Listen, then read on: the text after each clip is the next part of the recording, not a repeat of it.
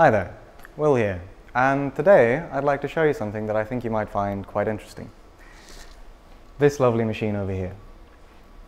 This is a Hasselblad Flextight X5, which the kind folks at Cape Film Supply have kindly allowed me to come look at and talk to you about. I am somewhat qualified to talk to you about it because I do uh, spend an excessive amount of time scanning on a version of one of these. So I'll give you a quick rundown of how they work and why they're superior to most other film scanners. But before we get into that, a brief overview of film scanners in general. When it comes to scanning film, there is a relatively large variety of ways that people do it. You've got flatbed scanners, which are sort of the lower end consumer scanners dedicated lab film scanners, which is where uh, what your uh, lab most likely uses to digitize your negatives. DSLR scanning, which can be quite high end depending on how you go about it. And then uh, drum scanners, which is when a negative is fluid mounted to a glass tube that then is spun around super fast and uh, that's how the negative is digitized. The Hasselblad Flextight lives in a space sort of between a dedicated lab scanner and a drum scanner, a true drum scanner. It's actually called a virtual drum scanner because of the way that the negative is handled inside the machine. So what is it about Flextight scanners that make them so expensive then? Well, to give you a brief overview of the history of Flextight scanners, they started out as a company called Imacon that uh, was focused on making sort of top of the line, incredible image quality scanners that could render the best frame out of a negative or slide for print and other reasons, gallery reasons, for example. I'm not sure what the exact first model was, but the way I have it in my head is that it goes Imacon Precision 1, Precision 2, Precision 3. At some point in there, there was a different type of scanner which is very good but doesn't look like these, whereas the rest of them do look quite similar to this. They have the tower build, and then it goes Imacon Flextight Photo, which is a more small-sized consumer level thing with the same setup in terms of a, a film bed and it goes up inside the scanner to scan but uh, it can only scan medium format. Then after that, there's the Imacon 343, which I think around then is when Hasselblad acquired Imacon. So it's also known as the Hasselblad 343, which is the same sort of scanner, consumer level, like a Flextight photo, but it works on Firewire instead of SCSI, which all the previous scanners that I mentioned work on. SCSI, I think people still use it for server interfaces, but it's basically just a very big, old, weird-looking plug that works like Firewire. Firewire is like a USB thing that uh, was designed for Macs, I think. You can still adapt this scanner, for example, to run through a Firewire port into a Thunderbolt adapter, Firewire to Thunderbolt, and then plug it straight into a Mac. Anyway, after those scanners came the Imacon 646, Imacon 848, Imacon 949, or Hasselblad Flextight, the name is interchangeable, and then the Flextight X1 and the Flextight X5, this being the absolute latest, newest model. They only discontinued them in 2019, I think. The reason these scanners are so amazing is because the CCD sensor that actually takes in the image sits up here, and then there's a lens below it that views the negative, and the negative itself is transported in a specifically sized steel holder that's magnetized over a drum across the optical transport line, I think it's called and uh, the, the CCD sensor only scans that one specific line. And as the image is dragged across it, held perfectly straight, everything border to border will be scanned sharp. So there's no doubt that the negative itself is being scanned sharp, and if there is any loss of uh, sharpness, it's to do with uh, the photograph itself. The other way the Imicons maintain consistent sharpness is by having absolutely no glass between the actual path of the film and uh, the lens itself. So the lens scans the film directly with absolutely no glass in between it besides the actual lens itself, which is a Rodenstock lens. The benefits of these scanners are the fact that you get sort of almost unsurpassed image quality and size unless you're using an actual drum scanner, which is a lot more finicky to use in this. There is no fluid mounting involved. You just chuck the negative into this holder, which can be a bit of a process, but uh, it goes in there, it comes out, and it takes a lot less time than an actual drum scanner would to get drum scanner-esque results. I'm not going to say that they are identical to a drum scanner because there is probably some leeway there, but uh, an A0 frame, as I'll show you off of one of these, is just an incredible scan through and through. The sensor as well, as designed by Hasselblad, has they had some crazy color technician working on that thing and the colors that you can get out of these scanners are amazing. But The downsides are they are obviously incredibly expensive, ludicrously expensive, so expensive that uh, at a consumer level there is basically no reason to buy one unless you get one for a really good price secondhand and are willing to brave the second downside, which is the fact that they're somewhat unreliable. The best thing one can do for them is to send them in for a service, but depending on where you are in the world, that's either not going to be available or will cost a lot to get done. And if you were to want to send it in for a service at, say, Hasselblad in, uh, I think there's a spot in New Jersey and in Sweden, you need the actual box that the scanner comes in for them to accept it for a service because they don't trust it to be transported in anything besides the specifically made box that these originally came in. And the last, and probably most prevalent downside, is the fact that they don't have uh, such as digital ice removing dust for you. So any dust that is on the negative when it goes into that scanner, on the X5 it's slightly different because it does have a bit of light diffusion going on, but any dust that goes into an Imacon for the most part, you have to manually retouch and click off, which sucks. Every picture that's ever been in any of the videos that I've put on YouTube, I've scanned on my Imacon, and uh, every piece of dust that was on them, I've had to manually remove.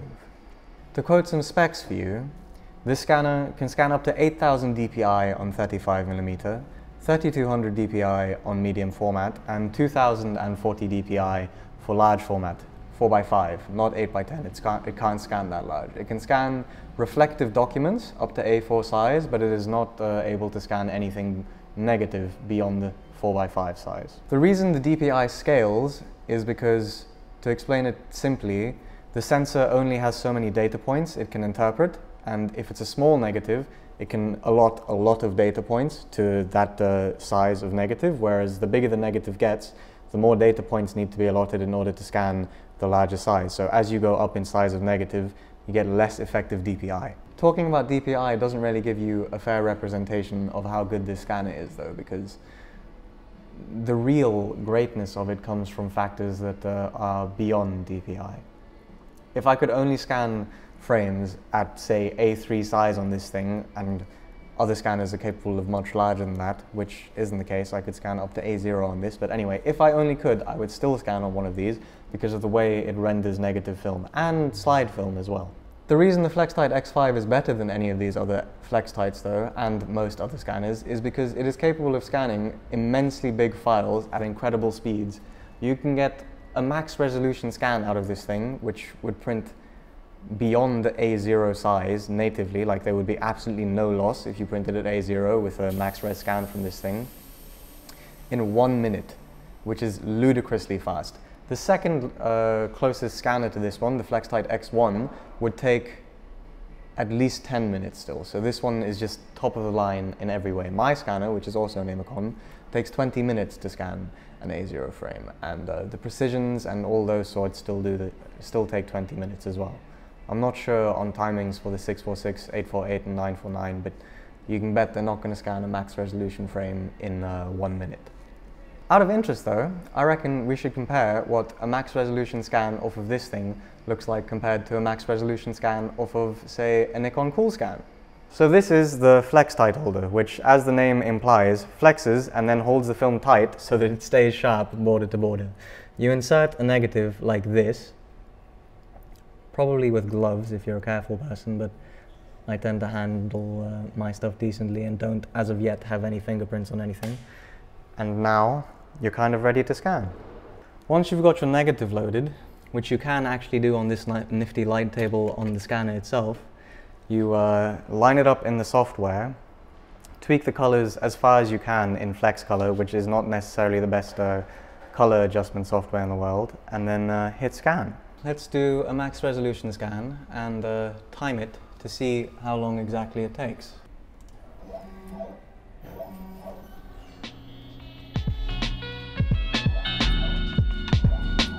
So a minute 28-ish for a max resolution scan of the Imacon. Let's compare that to the Coolscan. Starting out, we'll uh, check what the startup time on this thing is like because the Flextight is pretty much instant in terms of startup for you to be able to scan. And I've heard that the Coolscan is somewhat not. We have to wait for that green light to stop blinking. Green light. One minute. One minute, 10 seconds probably. Okay, now let's time how long it takes to do a max res scan on the Coolscan. With ice, which is going to have an impact.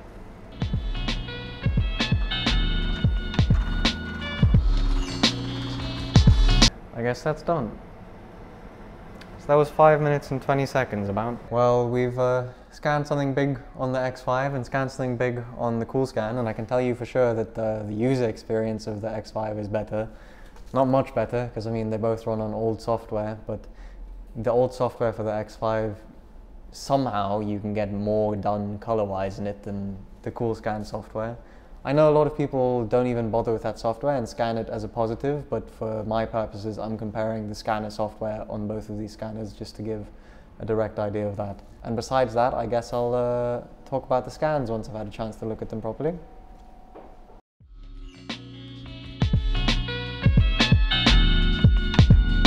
Let's have a look and see uh, how the two scans compare.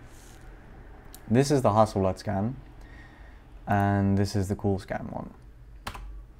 The first thing I reckon one will notice is that the highlights are clipping quite a bit in the Coolscan one, and these were both scanned for maximum tonality, so obviously the range of uh, exposure across this particular image is too much for the Coolscan to handle.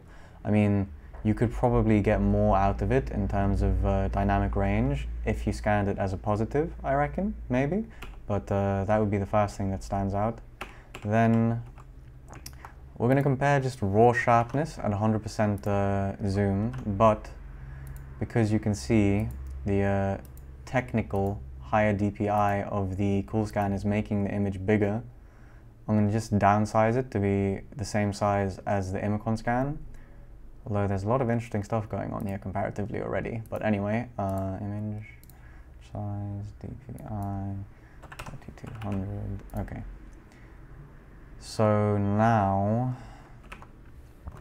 that should be the same size as the Imacon, yes, and we can get a side-by-side -side comparison. So in the Coolscan, the first thing that I'm noticing is that it looks sort of over-sharpened compared to the Imacon, and there's a lot more noise going on, digital color noise, as opposed to just the straight film noise that the Imacon has. And then in the shadows as well, there's slightly more detail, and they aren't as dirty in the Imacon as they are in the Coolscan. You can see it's a bit sharper and there's much more tonality going for it. Whereas in the Coolscan it just sort of turns soft and muddy. And the overall cast on the Coolscan is a lot more blue for some reason, whereas on the uh, Imacon it's got a redder look going for it. I guess we can compare as well the dust, because that is obviously the downside on the Imacon, so that's the sort of dust that the Imacon picked up, whereas if we compare that spot on the Coolscan, no dust. The ice picked it up, which is a big time saver.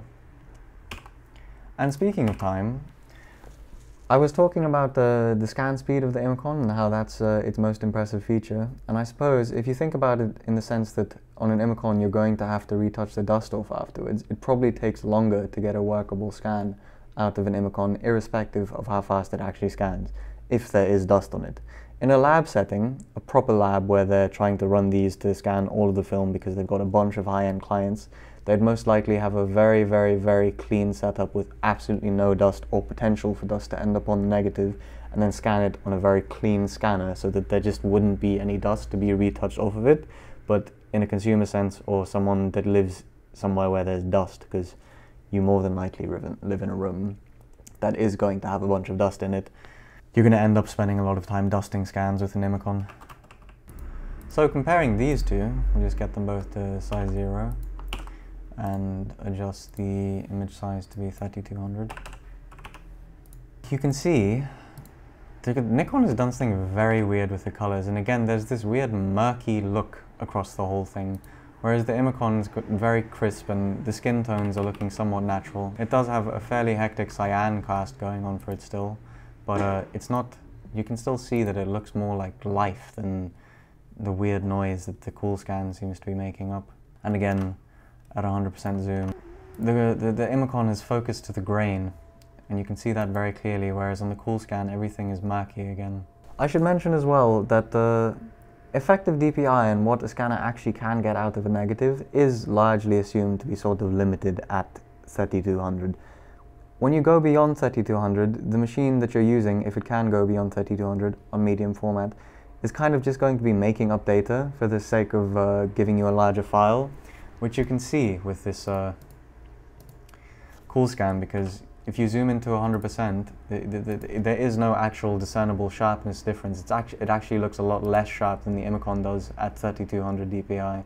So it's just a paper specification really as opposed to an actual useful functional DPI. I've just done a quick color pass now on both of them to give a more accurate representation of the sharpness because I think the cast might have been impacting the perceived sharpness of the Imacon. So if we zoom into 100% here now, that compared to that is somewhat more comparable. They're just different scans in the end though really. I mean, as a scanning technician and someone who earns a living doing this sort of thing, I'd much rather work with an Imacon scan because there is much more data in a much more pure form for you to sort of uh, adjust to the client specifications, where on a CoolScan, the shadows have turned into sort of this murky mess, and I feel like if I bring them in more, yeah, it's still weird and murky compared to the Imacon scan. At the end of the day, it's just personal preference, and if you'd like to have a Coolscan, you'll uh, spend a lot less than you would on a Hasselblad X5. You can get different older versions of the Imacons, but it, they're just going to be more trouble, really, than uh, most people would think they're worth. And to finish things off, I hope you enjoyed that. It was a somewhat long video, but hopefully relatively informative. And uh, if you're curious on doing your own investigation, I'd suggest reaching out to local labs that may have Imacons of their own that they'd rent to you to use. Because a lot of spots do have Imacons that they rent out, and uh, you can learn more messing around with an Imacon yourself than I could ever impart to you knowledge-wise. Cape Film Supply, for example, where I filmed this video, you can go and rent their scanner if you'd like to, which I'd suggest doing because they're lovely folks and uh, they've got a top-of-the-line scanner, so go forth and learn about the Imacons, I guess.